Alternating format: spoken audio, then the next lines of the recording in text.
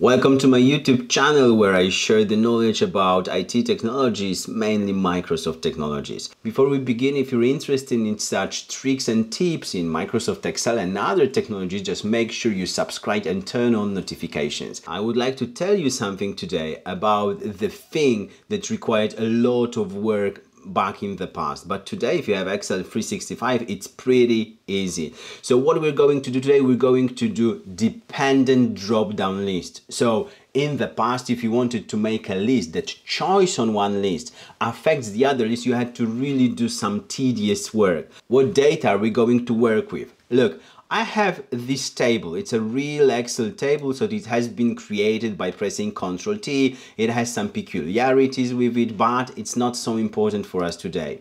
What we have here is the brand column and the model column and the price column, of course, as well. What I would like to create is the list where I will be able to choose the brand from B2 cell and the list of brand must come from the column brand. So what it means that it has to come from this column, it means that whenever I update something, I add new brand, I want this brand to be included in my drop-down list. Moreover, I would like it to be sorted and what's the most important thing here, I want to have the other drop-down list. So whenever I choose the brand, I want to have the list limited only to models of the brand that I have previously chosen. So how can we do that actually? We're going to use a few new table functions in Microsoft Excel. So the function that is able to retrieve all the items, unique items from the list is called unique when I type unique, I am able to provide the, the array. And in my case, that is going to be a column of the items that I want to get unique items from. So I'm going to select brand column here. And someone might say, wow, cool, but I want it to be sorted because I want Apple brand to be on top and I want some other brand like Xiaomi to be at the very bottom. So what can we do? I can just embrace my unique formula, unique function with another function that by natural language I can just call it sort. That is one of the array formulas functions in Excel 365 and I have the list perfectly sorted. And what's interesting is that you do not get a result like in one cell you get the result in as many cells as needed.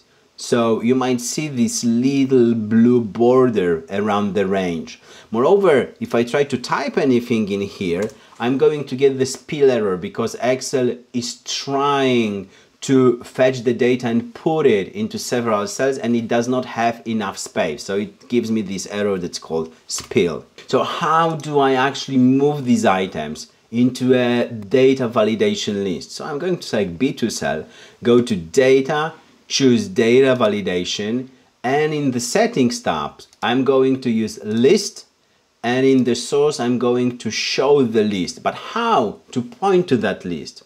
Well, one obvious answer might be, well, let's just select cells from I1 to I10. But what if we get another brand in our price list?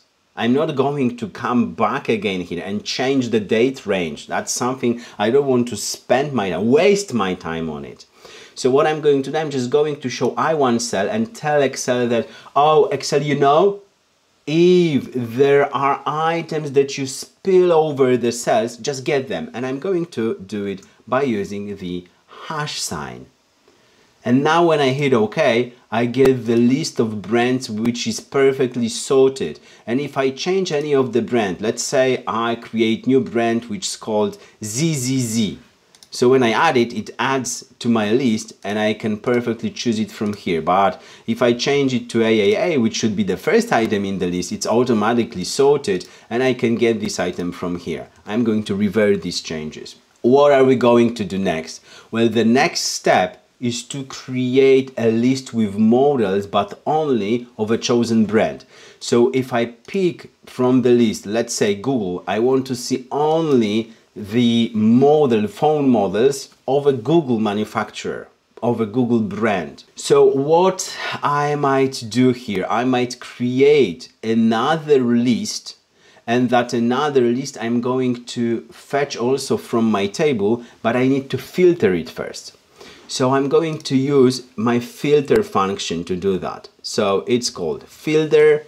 I'm going to say, well, what I want to retrieve is the list of models, but I want these models to be filtered by taking brand column and saying, but I only want brands that are equal to the brand that I have previously chosen in B2Cell. Now when I hit enter, I get this list and look, if I change my brand to Nokia, if anyone still remembers Nokia, there was the phone 3310. So if you drop the phone on the floor, you worried about the floor, not about the phone.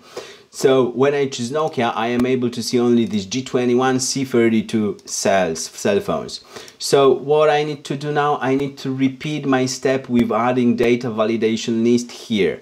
So I'm going to choose data, data validation, allow list and say that I want to retrieve the list now from K1 cell and all the cells that Excel are going to use to display the result of my formula. So I click OK, I confirm with OK, and I have this drop down list dependent. So let's say I want to choose the other brand, let's say Apple, and when I click drop down arrow I see only iPhone 14 and 13 and when I choose Samsung I see only S23 and A54 and it's all dynamic because whenever I add any data this is a real Excel table.